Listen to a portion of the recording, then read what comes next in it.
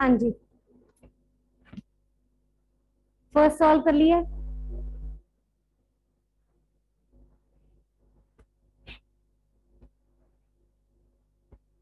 अदिति इधर आ जाओ उठ के। इधर आओ, उठो, आप भी पीछे से इधर आओ।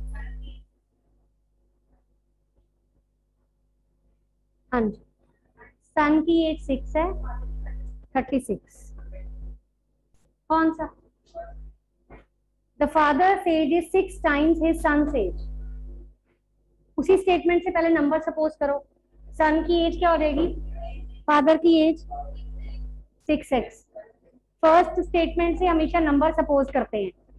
सन की एज हो गई एक्स और फादर की एज हो गई four year hence means after four year तो सन की एज हो जाएगी एक्स प्लस फोर फादर की हो जाएगी six x plus four the age of the father ये फादर है ना विल बी मतलब इक्वल टू जहाँ पे हेल्पिंग वर्ब आएगा, जहाँ पे इक्वालिटी का साइन आता है four times the son age ठीक है? करो सॉल्व क्या आ रहा है? एक्स सिक्स आएगा। ठीक है, जो एक्स है that is the son age father की एज आ जाएगी six into six thirty six ये बताती है। ये कुछ और है, आप ये करो तब तक इसलिए क्वेश्चन मैं बोलती हूँ, आप करो। पहले अगला कर लो।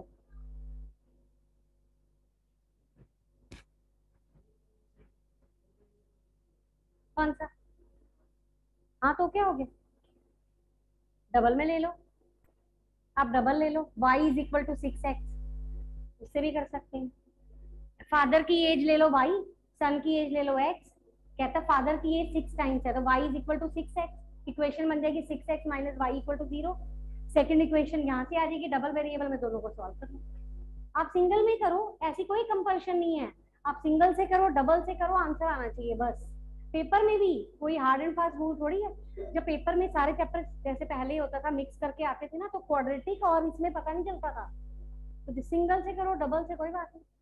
आप चाहे क्वाड्रेटिक का वन वेरिएबल का टू से कर दो, कोई रॉन्ग नहीं है। मैथड ठीक होना चाहिए। सिंगल से इजी हो जाता है। डबल से थोड़े डबल इक्वेशन सॉल्व करने पड़ती है सिंगल हाँ जी।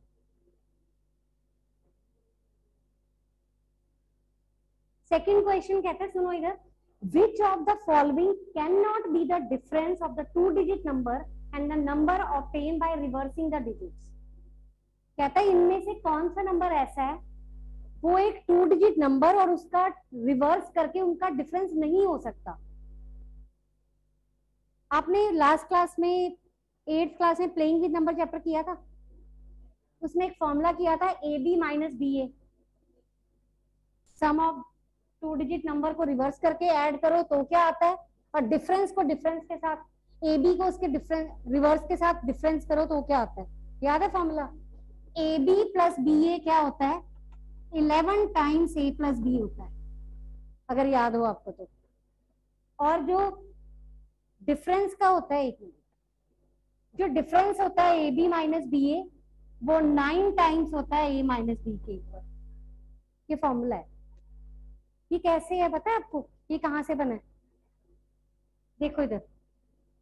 ये फॉर्मूला कैसे बना इधर देखो। एक टू डिजिट नंबर है, इसकी जनरल फॉर्म क्या होती है? टेन ए प्लस बी होती है। Ten times the digit at the tenth place plus ten plus unit place ये general form of the number है। ए बी की जनरल फॉर्म लिख दी बी ए की जनरल फॉर्म क्या होगी? टेन बी प्लस ए दोनों को ऐड कर दो। A B plus B A हो गया। इसको ऐड कर दो। Ten A plus one A ten B plus one B eleven common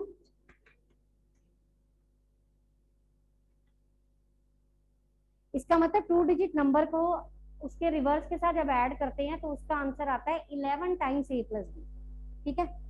ये तो टू डिजिट नंबर था। अगर थ्री डिजिट नंबर आ जाए तो तो बन जाएगा। इधर देखो A B C C A B plus B C A is equal to triple one A plus B plus C अगर आपको याद हो तो ये भी किया हुआ है आपने।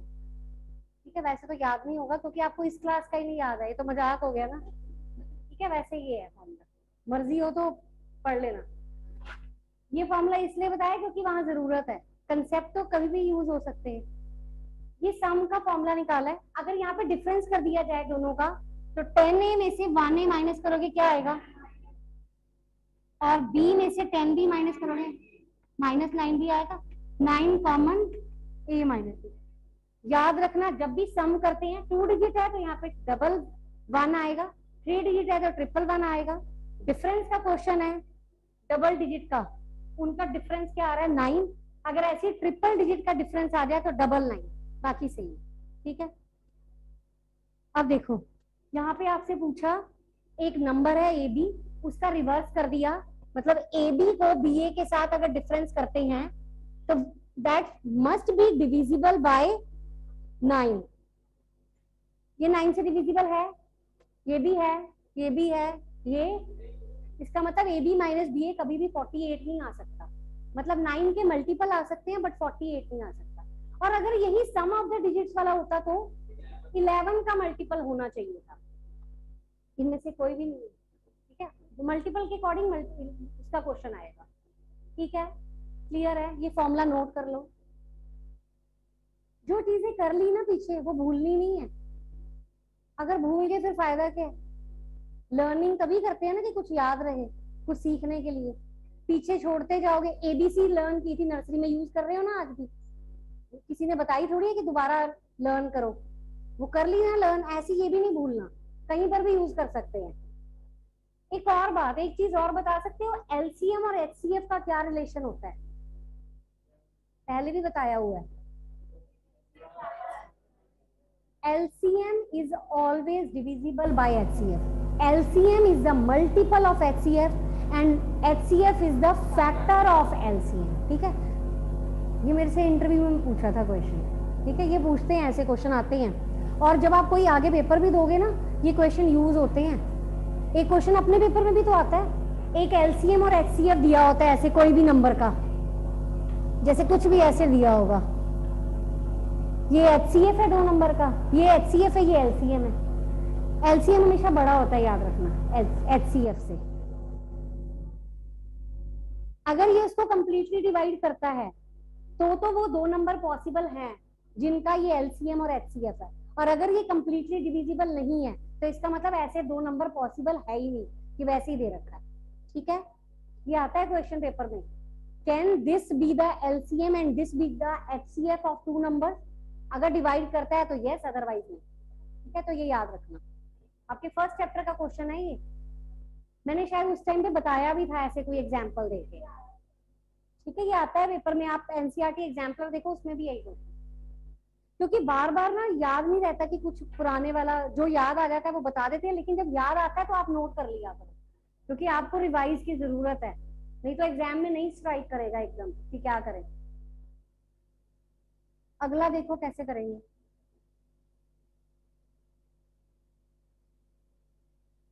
अब यहाँ देखो, ये यही कंसेप्ट है दोबारा। इस क्वेश्चन में कहीं पे भी पता नहीं चल रहा कि यही वाला फॉर्मूला यूज़ होना है। अब देखो, दो टू डिजिट नंबर है, उसका रिवर्स है।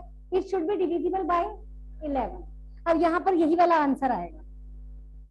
यहाँ देखो क्या कहता है, एक टू डिजिट नंबर है। अब वो ए बी है कि बी है, ये नहीं पता ए बी ले लो चलो। इलेवन टाइम्स है, उसकी सम ऑफ़ डिजिट की। सम ऑफ़ डिजिट क्या होगा? ए प्लस बी मतलब कहता है ए बी जो है, वो इलेवन टाइम्स है ए प्लस बी के ये कह रहा है। The number form by reversing reverse करके क्या बनेगा? B A the digits the number of formed by interchanging the digit is the sum of digit multiplied by 11 minus के हो जाएगा। ठीक है? कहो तो लिख के भी दिखा सकते हैं। इसका क्या मतलब है?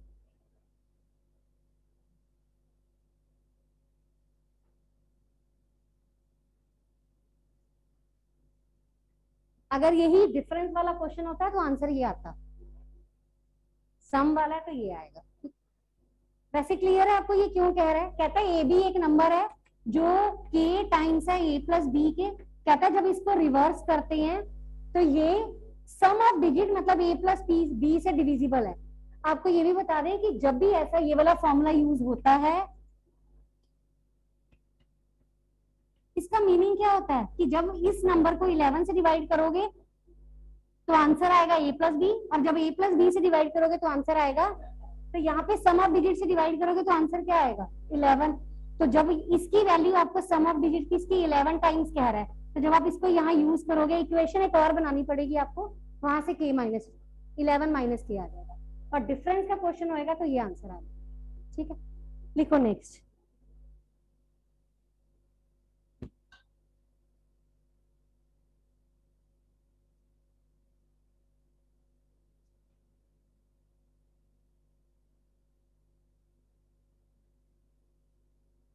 आप सबसे पहले अपनी एनसीईआरटी रिवाइज e करना।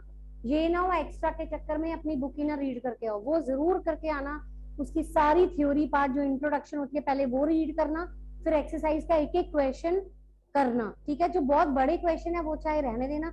जैसे अब आपके सामने ये स्टेटमेंट है, लेकिन इसमें से कोई भी चीज़ आपसे पूछ सकते हैं। पिछला क्वेश्चन था जैसे। ऐसे कोई भी आ सकता है। ठीक है? तो अपनी बुक के क्वेश्चन तो अच्छे से करना ना एग्जाम्पल्स भी। उसके बाद कुछ एक्स्ट्रा जो करवा रहे हैं, ऐसे कुछ भी आ सकता है आपको। क्योंकि टेंथ में बहुत वास्ट है। किसी को नहीं पता फ़र्स्ट टाइम ही एमसीक्यूज वाला टाइप आ रही है। तो क्या आएगा? अभी तो फिर भी आप अपना जो लेवल है उसके अकॉर्डिंग करोगे, लेकिन अगले पेपर में क्या आएगा, कुछ नहीं पता। इसलिए आपको पढ़ना पड़ेगा। आप ये सोचो कि सिर्फ़ यहाँ बैठ के सुनने से काम चल जाएगा। नहीं, आपको भी इक्वली हार्ड वर्क करना पड़ेगा। ठीक है? अपनी बुक और एक कोई सैंपल पेपर या एग्जाम्पलर या कोई भी जो भी आपके पास है, उसको फॉलो करो। एक चीज़ अच्छे से करो। ये ना हो जिसके पास जो बुक है सारी परचेज कर लो लेकिन करो कुछ भी ना। ऐसे भी तो होता है ना कई बच्चे होते, होते हैं। आपके पास बुक है देखा दूसरे के पास हुआ है वो भी ले लो। ऐसे तो बच्चे मार्केट में बहुत कुछ आता रहेगा नया। अब आप देखो लेटेस्ट कितना कुछ आया ये जो क्वेश्चन इसमें है ना मैं आपको आज ये वाले पिक अभी इसकी पिक सेंड कर दूँगी। इस पेज पे इसमें अच्छे क्वेश्चन दे रखे हैं। लेकिन ऐसे क्वेश्चन ना अपनी बुक में है ना किसी और बुक में है। हम भी तो पहले वाली बुक नए में से करवा रहे हैं पुराना हमारे पास भी बहुत मटेरियल है। लेकिन ऐसे क्वेश्चन उसमें नहीं है। लेकिन अब सारा कुछ तो नहीं करवा सकते ना। मैं आपको सेंड कर दूँगी एक दो पेजेस जिसमें स्टेटमेंट्स हम दे रखे हैं, ये अच्छे क्वेश्चन है, ये रीड कर लेना एक बार। ठीक है? इसमें सॉल्व भी किए हुए हैं, मैं इसलिए भेज दूँगी, आपको कोई डाउट हो तो पूछ लेना। क्योंकि तो सारे क्वेश्चन तो नहीं पॉसिबल कि सारा कुछ हो जाए। ऐसे तो वर्क डन वाले जो क्वेश्चन होते हैं वन डे वर्क वाले, वो भी दे रखा है। सैलरी का कंपैरिजन वाला क्वेश्चन दे रखा है कि अगर ए की सैलरी बी से ज़्यादा है तो बताओ बी की सैलरी कितनी लेस है। ऐसे क्वेश्चन ठीक है? काफ़ी कुछ दे रखा है यहाँ पे। मैं ये, मैं भेज देती हूँ, कर लेना आप ये वाला क्वेश्चन मोटर बोट वाले क्वेश्चन है आपकी बुक में। एक एग्ज़ाम्पल भी आया है। ठीक है? एक अप अपस्ट्रीम डाउनस्ट्रीम वाला क्वेश्चन है। वैसा। लास्ट एक्सरसाइज में रो वाला क्वेश्चन है। एरिया वाला क्वेश्चन है। ऐसे बहुत कुछ है। ठीक है? प्रोबेबिलिटी के भी इसमें जैसे क्वेश्चन है, वो आपकी बुक में नहीं है। मैंने मार्क करे, मैं वो करवाती हूँ इसके बाद आपको। इसमें अच्छे क्वेश्चन दिए हुए हैं। प्रोबेबिलिटी के भी जो चीज़ें आपने नहीं सोची ना, उन पे भी इन्होंने क्वेश्चन फ्रेम किए हुए हैं। डिफरेंट कंसेप्ट मतलब जो दूसरी बुक्स में नहीं है। आप चाहोगे तो मैं आपको इसकी, जो जो मुझे अच्छा लगता है, मैं उसकी पीडीएफ बना के आपको सेंड कर दूँगी, आप एक बार रीड कर लेना। क्योंकि तो सारी बुक्स नहीं आप कर सकते हो। ट्रिग्नोमेट्री इसके बाद कौन सा चैप्टर है? एरिया रिलेटेड टू सर्कल हो गया। नेक्स्ट देखना कौन सा? ठीक है। ठीक है, पहले ट्रिग्नोमेट्री करवा देते हैं। ट्रिग्नोमेट्री में बहुत प्रैक्टिस चाहिए हाँ जी। हाँ वो नहीं है। हाँ पूरी। जिस, जो जहाँ पे वो कंसेप्ट यूज़ हो रहा है। कई क्वेश्चन ऐसे भी तो हैं जिसमें डबल कंसेप्ट यूज़ होता है। फिर वो वाले करने पड़ेंगे। 8.4 में तो नहीं है, उसमें तो वो है। आइडेंटिटीज वाले क्वेश्चन है। नहीं है, कोई भी नहीं है। वो एक, देखो टाइप तो आपको आनी चाहिए ना। ये अब देखो, ये सैंपल पेपर मैं करवाऊँगी ना, इसमें दिए होंगे वो क्वेश्चन उन्होंने कुछ डिलीट नहीं किया, सब कुछ दिया हुआ है। जैसे हमने वहाँ पर कोई टाइप की थी जो हम कह रहे थे डिलीटेड है। एरिया रिलेटेड वो एरिया ऑफ़ ट्रायंगल वाला, इसमें क्वेश्चन वो भी दे रखे हैं। कोऑर्डिनेट ज्योमेट्री में एरिया ऑफ़ ट्रायंगल का टॉपिक डिलीट है ना, पर इसमें दे रखे हैं। जो क्यूबिक पॉलिनोमियल की टाइप है क्वाड्रेटिक है क्यूबिक सिलेबस में लिखा हुआ डिलीटेड है, लेकिन ये लेटेस्ट इसमें सारे, इसमें कम से कम आधा चैप्टर तो उसी से दिया हुआ वही दिया हुआ दिए हुए हैं क्वेश्चन लेटेस्ट ही है, ये बिल्कुल अभी आए हैं। तो लेकिन आपको टाइप आनी चाहिए, ज़्यादा प्रैक्टिस ना करो, लेकिन कंसेप्ट तो पता होना चाहिए ना यूज़ करना पड़ जाए कहीं पे तो इसलिए। करवा देती करवा देती हूँ, कोई बात चलो लिखो। बस बस बस।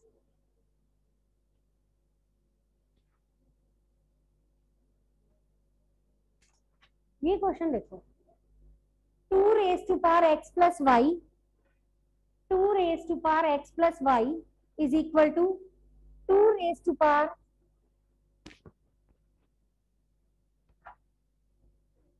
x minus y is equal to root eight बहुत डिफ़िकल्ट के चक्कर में मत रहना अभी अभी अपनी बुक और कोई एक चीज़ अच्छे से कर लेना। वेरी शॉर्ट वाले क्वेश्चन जिसमें कंसेप्ट क्लैरिटी होनी चाहिए। आप समझ रहे हो? मतलब कि आपके कंसेप्ट क्लियर होने चाहिए। जैसे अभी आपको पिछला कंसेप्ट बताया एट क्लास का यूज़ हो रहा था। कंसेप्ट क्लियर होने चाहिए, वही पुरानी चीज़ें यूटिलाइज होनी या जो आप चैप्टर से रिलेटेड पढ़ रहे हो, जैसे यूनिक सॉल्यूशन का पूछा नो कंडीशन ही नहीं पता होंगी, फिर क्या करोगे? वो लर्न होनी चाहिए, कैसे करना है क्वेश्चन वैसे वो चीज़ें क्लियर होनी चाहिए। ठीक है? और बहुत ज़्यादा लिखना मत सॉल्व करके आंसर करना। लेकिन आंसर की, जैसे आपने सॉल्व किया, फटाफट आंसर टिक नहीं कर देना, बाकी भी वेरीफाई कर लेना। कई बार डबल आंसर होता है। कई बार ऐसा होता है जो हमें एक बार में हो सकता है हमने कैलकुलेशन ही गलत की हो, और गलत वाला आंसर भी दिया हो, सही वाला भी दिया हो, पता ही ना चले आपको। तो सारे ऑप्शन भी एक डायरेक्ट आंसर देखते ही मत टिक कर देना। बाकी को भी एक बार वेरीफाई कर लेना। कई बार जल्दी, गलती हो जाती है, सबसे होती है। ठीक है? तो इसलिए बहुत जल्दी नहीं करनी। क्वेश्चन सॉल्व करना, बहुत ज़्यादा लिखना मैं शॉर्ट में सॉल्व करके फिर आंसर मार्क करना। और बाकी ऑप्शन भी चेक करके फिर जाना आंसर पे कौन सा मार्क करना देखो कैसे करेंगे। इसमें फाइंड करना है एक्स वाई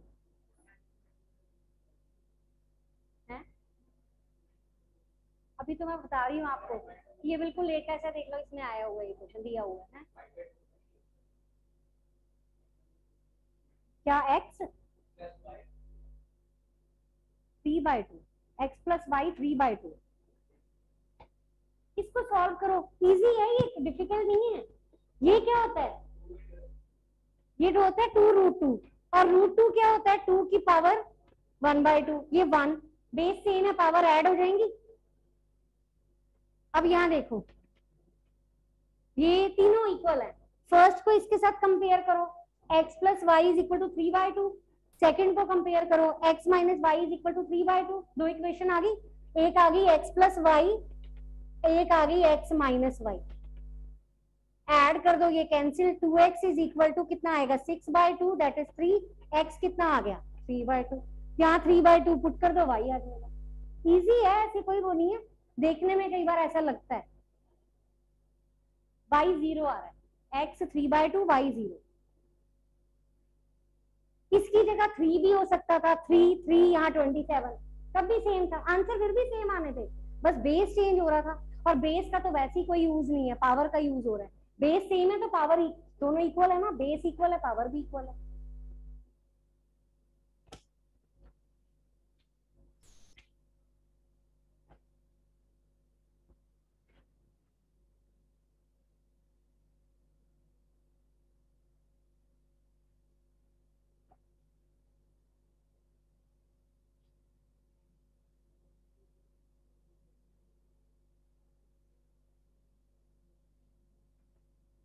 ये आवाज़ क्यों आ रही है?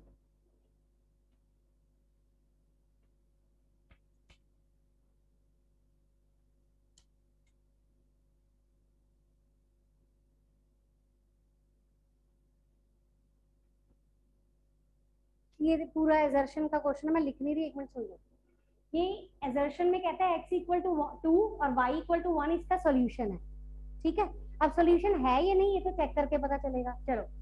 टू पुट करेंगे सिक्स, यहाँ वन पुट करेंगे सिक्स माइन है, इसमें भी चेक कर लो। फोर प्लस वन फाइव आ रहा है, ठीक है? अब वर्बली चेक करना लिखने मत बैठ जाना वहाँ पर। ये इसका मतलब ये ठीक है। सेकंड में कहता है एक्स वाई जो है, ये पेयर ऑफ़ वैल्यूज़ है which satisfy each one of the given equation in a given system of two linear equation is the solution of the equation ये सॉल्यूशन है कि नहीं? एक्स वाई कहता पेयर है ये इक्वेशंस को सेटिस्फाई करता है, इसलिए इसको सॉल्यूशन कहते हैं। और ये भी तो सॉल्यूशन ही है तो ये इसका रीजन है या नहीं है? है। तो इसका मतलब दोनों ही ट्रू है। तो इस तरह से कोई भी क्वेश्चन अब अगला क्वेश्चन दे रखा है। कहता है दो इक्वेशन है, इनका इनफाइनाइट सोल्यूशन है। पहले चेक कर लेना इक्वल है कि नहीं। इनफाइनाइट की कंडीशन लगेगी। सेकंड में कंडीशन दे रखी है। अगर सेटिस्फाई करती है तो दोनों ट्रू है, नहीं तो नहीं है। ठीक है, नहीं तो रीजन तो ट्रू है है क्योंकि उसमें A one by A two B one by B two C one by C two equal given है। गिवन है इसका मतलब इनफाइनाइट है। अब ऊपर वाला ट्रू है या नहीं वो चेक करके पता चलेगा बाय अप्लाइंग द कंडीशन तो ऐसे क्वेश्चन वही नॉलेज आपने यूज़ करके बस आंसर देनी केस स्टडी के भी ऐसे क्वेश्चन होंगे। जैसे सपोज़ करो वर्क डन वाला क्वेश्चन आ गया। जैसे स्टेटमेंट में कह रही मैं आपको सेंड करूँगी। वो क्वेश्चन आ गया, नीचे फोर पार्ट्स होंगे। ए का वर्क डन बताओ मतलब कितने दिन में काम कंप्लीट करेगा, फिर बी का पूछ सकता है ए बी का कंपैरिजन पूछ सकता है, कौन ज़्यादा दिन ले रहा है, कौन कम ले रहा है। ऐसे कोई भी एमसीक्यूज आ सकते हैं। क्वेश्चन वही होंगे, सब कुछ टाइप लेकिन जो आपने प्रैक्टिस की होनी चाहिए कि आपको करना क्या लेकिन आपका सबसे पहला काम ये बनता है कि पेपर में आने से पहले अपनी बुक में इंट्रोडक्शन रीड करना एक्सरसाइज करना, उसके बाद कुछ एक्स्ट्रा देखना। और सब कुछ एक दिन में नहीं होगा, आपको भी पता ही है। बस आपका एक बर्डन लेस हो गया कि आपको बड़े बड़े क्वेश्चन सॉल्व नहीं करने कंसेप्ट क्लियर करने और वेरी शॉर्ट क्वेश्चन आने हैं, बस। ठीक है? ट्रू फॉल्स वगैरह आएगा तो जस्टिफाई करना होगा। वैसे वो भी नहीं है आपको। बस वहाँ पे ये लिखा होगा, बस बताना है कि यस है या नो है, जो भी इस तरह के आंसर होंगे ठीक है? तो मतलब लिखने वाला काम तो आपका खत्म है, लेकिन कंसेप्ट क्लैरिटी बहुत ज़्यादा ज़रूरी है। बस एक डॉट गलत लग गई तो हो गया काम।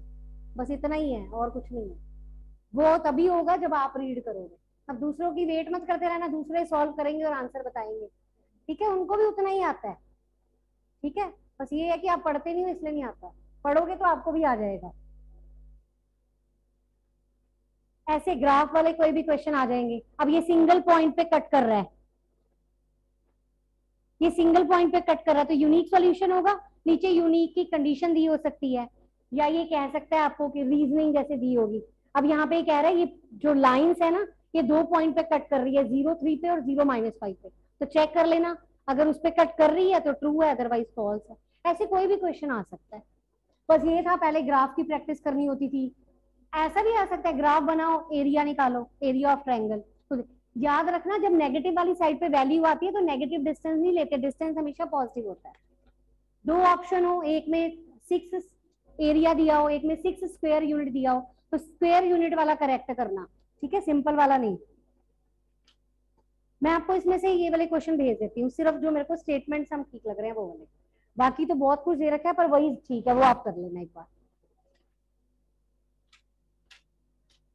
आपका रिवीजन टेस्ट हाँ जी, क्या कह रहे हो?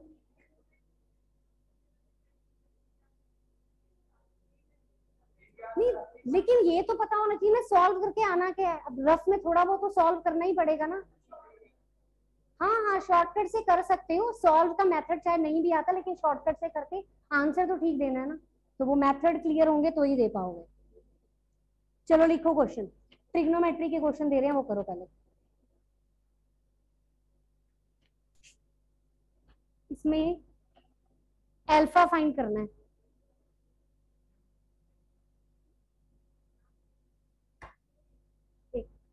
ये लिख दूँ आप करो तब तक। Sine 60 minus alpha is equal to 1. Find alpha.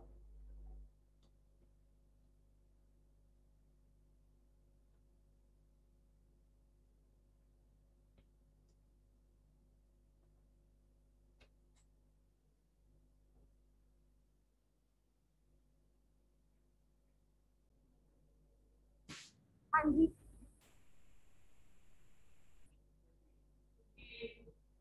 इसको यहाँ लेके जाएँगे one by root two one by root two कब होता है? साइन फोर्टी फाइव पे तो अल्फ़ा आ जाएगा fifteen maximum value one by cosec one by cosec क्या होता है? साइन थीटा और साइन थीटा की maximum value one minimum minus आपकी बुक में वैसे क्या, कहाँ तक होता है आपका टेबल ज़ीरो तक होता है। हाँ तो आप ज़ीरो तक देना। ठीक है? वैसे माइनस वन और वन के बीच में लाई करता है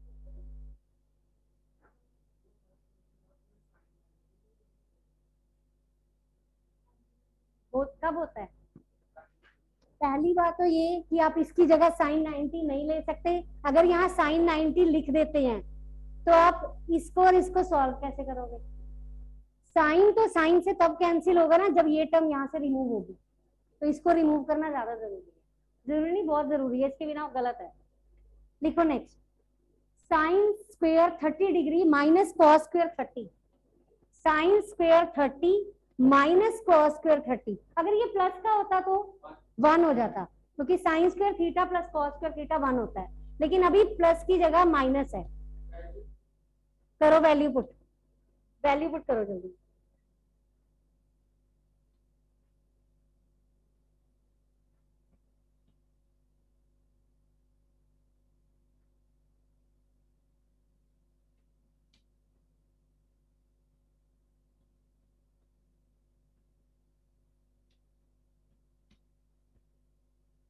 हाँ जी अरियांश साइन थर्टी कितना होता है? हाँ ऊपर साइन फोर्टी फाइव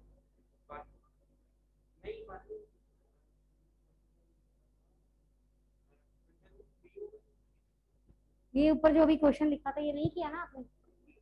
कहा?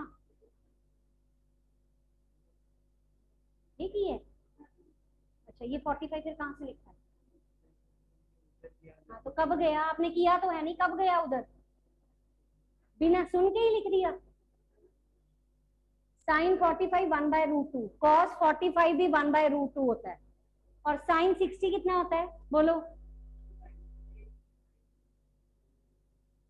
कितना होता है sine sixty sine ninety one sine ninety one होता है। Cos zero one. रिवर्स होती है वैल्यूज़ जो साइन नाइन्टी है, वो कॉस ज़ीरो जो साइन ज़ीरो है, वो कॉस नाइन्टी सब कुछ रिवर्स होती जाती है। सिर्फ़ सेंटर वाली वैल्यू सेम रहती है, बाकी सारी रिवर्स हो जाती है। ये करो सॉल्व आंसर बोलो, क्या आ रहा है? इसका। माइनस ठीक है नेक्स्ट करो। इसमें से बताओ इसकी।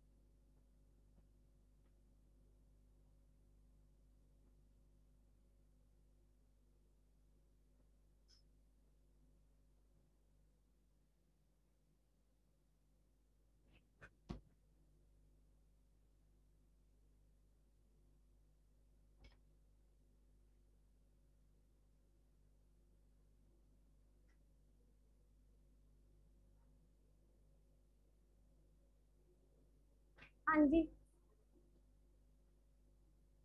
कृतिका, इसका आंसर क्या आ रहा है? टेन सिक्सटी कितना होता है? टेन इसका नहीं टेन सिक्सटी क्या होता है मैंने root three cos thirty cos thirty जो है वो साइन सिक्सटी के इक्वल होता है। साइन सिक्सटी कितना होता है? तो ये भी रूट थ्री बाई टू आ गया, ये भी। क्या आएगा इसको सॉल्व करके? आंसर बोलो, क्या आएगा? सॉल्व करके आपसे नहीं पूछा मैंने। जब पूछा जाए तब बोलना।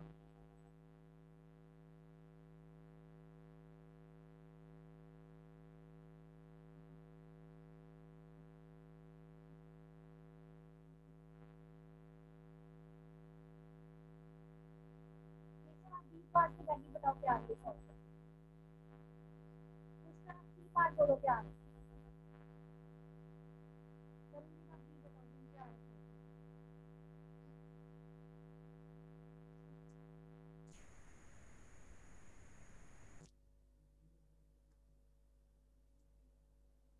बी रूट थ्री आ रहा है, ठीक है? क्रिटिका ए की वैल्यू क्या आ रही है बोलो? जल्दी जल्दी।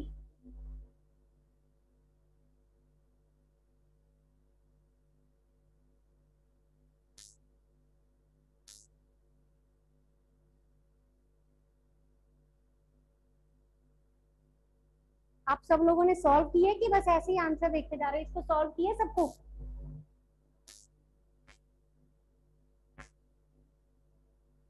Four root three second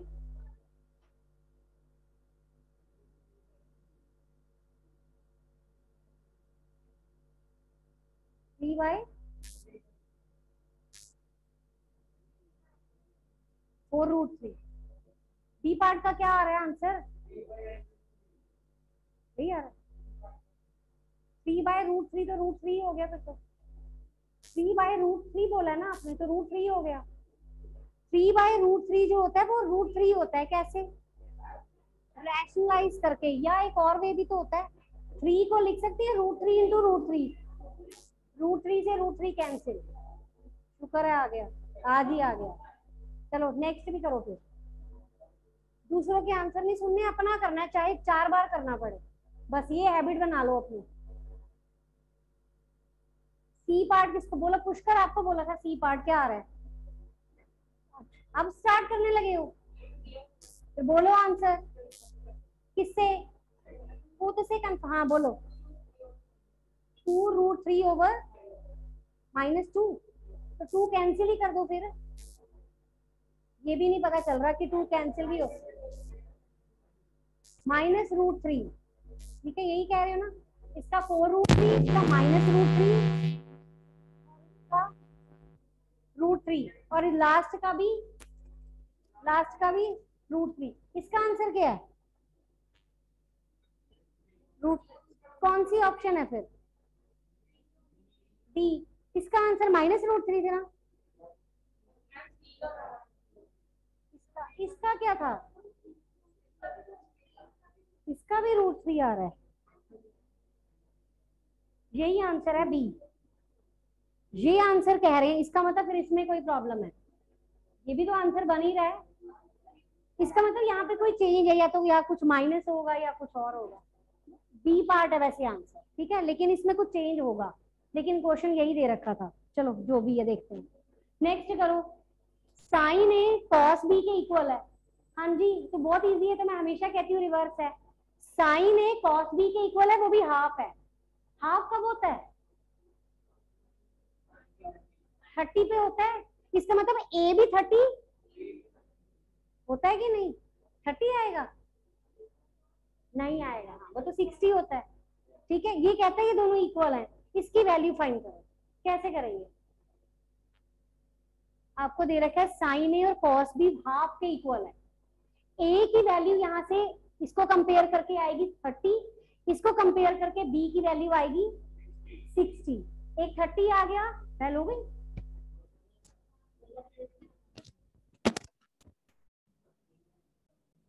मेरा तो पीरियड लगा हुआ है